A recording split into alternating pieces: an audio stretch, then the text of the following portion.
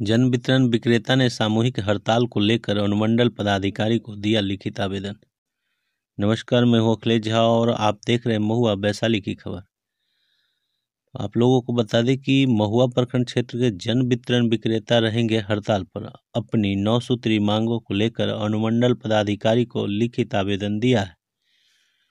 जन वितरण विक्रेता सह सचिव अमरजीत जायसवाल ने कहा कि हम लोग Bihar fair price dealers association के प्रदेश अध्यक्ष सचिदानंद तिवारी एवं महामंत्री वरुण कुमार सिंह तथा जिला अध्यक्ष पारसनाथ सिंह के आह्वान पर पूरे बिहार के जन वितरण विभाग के विक्रेता कई मांगों को लेकर दिनांक एक एक दो हज़ार तेईस से नौ एक दो हज़ार तेईस तक सभी डीलर हड़ताल पर रहेंगे।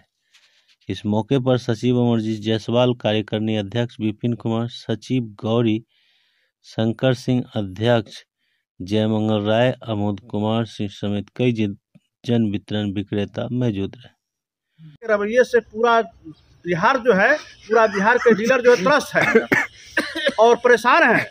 बिहार सरकार का तुगलकी फरमान जो है, हम डीलरों को बेवस कर दिया है, भुखमरी के कगार पे ला दिया है।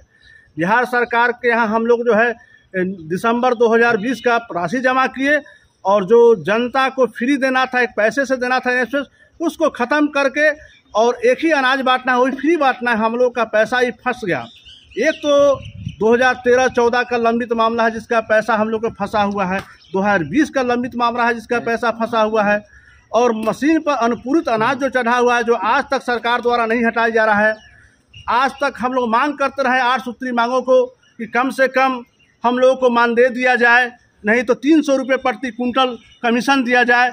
लेकिन आज तक बिहार सरकार हम लोगों के बारे में कुछ सोच नहीं रही है। इसलिए हम लोग फेयर प्राइस डीलर एसोसिएशन के प्रदेश महामंत्री वरुण कुमार सिंह के आदेश पर पूरे बिहार हड़ताल पर हैं। डीलर संघ जिंदाबाद। जिंदाबाद।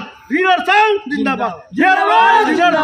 महुआ जिंदाबाद। जिंदाबाद। जिंदाबाद। Fair price dealer association Mahua जिंदाबाद। जिंदाबाद। जिंदाबाद।